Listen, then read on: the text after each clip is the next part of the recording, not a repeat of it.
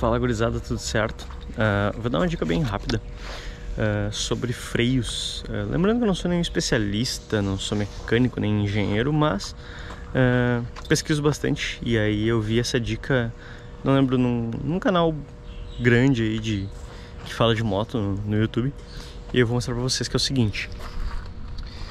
Nota que o, o fluido de freio é, agora a moto está inclinada, mas igual ele tá, ele baixou bastante, tá? E tá se aproximando bastante do lower. É, o ideal é que ele fique entre o meio e o upper, né?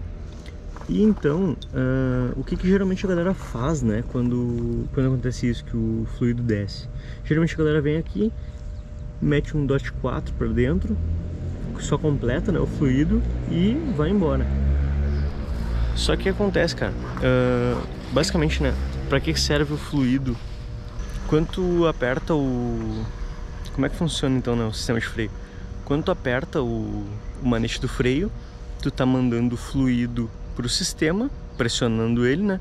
E ele empurra as pastilhas uh, contra o disco.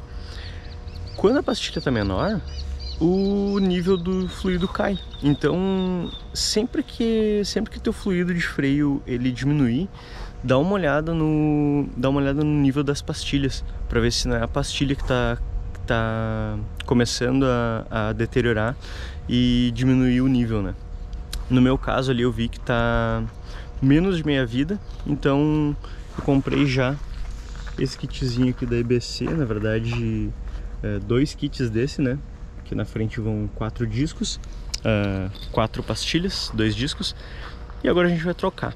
Uh, indo lá na oficina trocar, mas essa é a dica. Uh, quando o fluido baixar, antes de tu completar o fluido, dá uma olhada para ver se o teu, se as tuas pastilhas de freio uh, elas não estão já no fim da vida ou meia vida.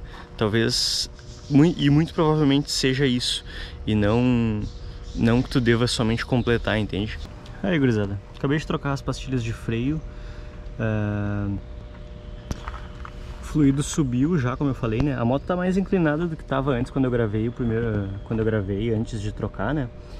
Uh, com a moto em pé, o fluido já tá lá perto do upper. O que, que ia acontecer caso tu só, troca, só completasse o fluido? O dia que tu trocasse as pastilhas, provavelmente ia transbordar o potinho do fluido de freio, né?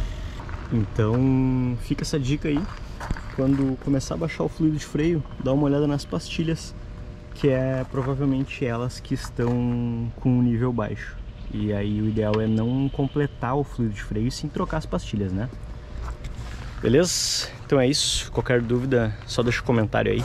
Valeu, até o próximo vídeo.